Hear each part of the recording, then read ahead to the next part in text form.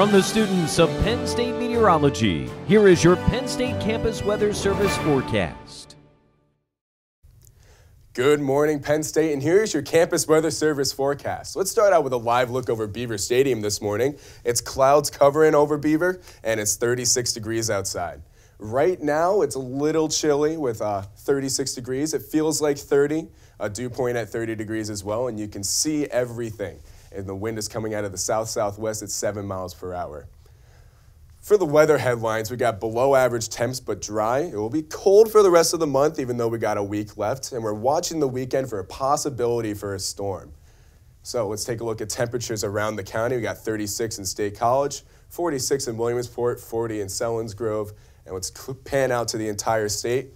42 in Erie, we got 40 degrees down in Pennsylvania, 41 in Allentown, and 30 over in Pittsburgh. So it's a little cooler in the southwestern part of the state. Let's take a look at the radar. Absolutely nothing going on whatsoever. It will be bright, it will be a clear day. Let's take a look at the uh, future forecast. It will be some southwest winds coming into the lakes right now. We're going to be watching that because that could be causing some lake effect snow. And you can see right here, it's starting to come in from the west. And as we move forward, it'll be starting to come in from the southwest. Where that's where you can see the clouds. That's where you can see the rain. So, and that'll push forward and take over New York, take over Massachusetts, parts of Pennsylvania. For the fall foliage, can't take your pictures just quite yet. It'll be some high color into the northeastern part of the state, southwestern, you got moderate color. That'll be changing soon this week.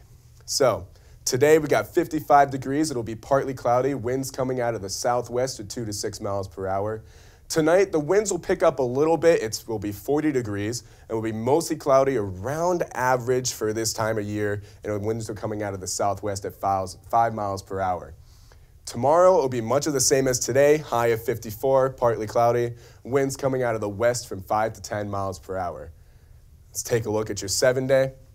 Monday 55, Tuesday at 54, like I said before. Wednesday will be 47, a little bit more chilly than the first two days of the week. Thursday will be sun and clouds. Friday, increasing clouds throughout the day, high of 48. Saturday is when we could start seeing some rain, and Sunday, that's what we're watching because we don't know what the storm exactly will be. So tune in for future reports. I'm AJ Sisson, and this has been your Campus Weather Service forecast.